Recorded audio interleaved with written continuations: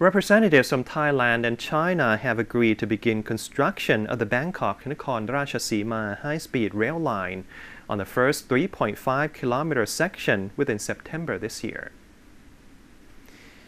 Thai Minister of Transport Akom Term Pithiya has held a discussion with Mr. Wang Xiaotao, Vice Chairman of the National Development and Reform Commission of China, as part of the 12th meeting of the Joint Committee on Railway Cooperation between Thailand and China. The minister affirmed after the meeting that both sides agreed to adhere to the plan to start building the first section of the Bangkok Nakhon Ratchasima route this September.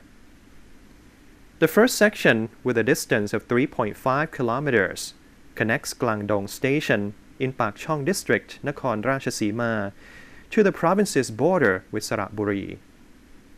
Financial sources will include the central state budget and domestic loans. Details are set to be submitted to the Cabinet for approval next month.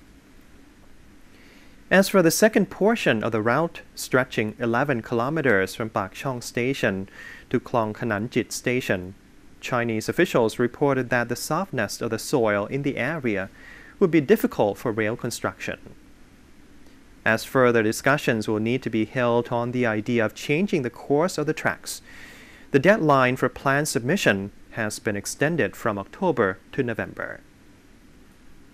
The total budget for all four sections of the Bangkok Nakhon Ratchasima route is estimated at 179 billion baht.